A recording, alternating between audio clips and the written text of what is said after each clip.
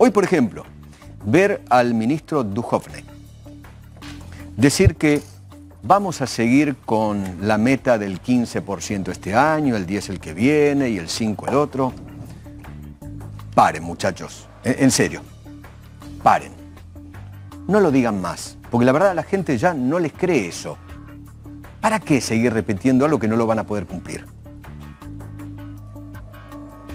Hasta los mismos informes que tiene el Banco Central muestran que hoy la inflación a fin de año va a estar cerca del 22. ¿Para qué siguen engañando? ¿Quién les cree ya que es del 15%? Yo no participo del equipo o del club del helicóptero, pero tampoco participo del club de los boludos.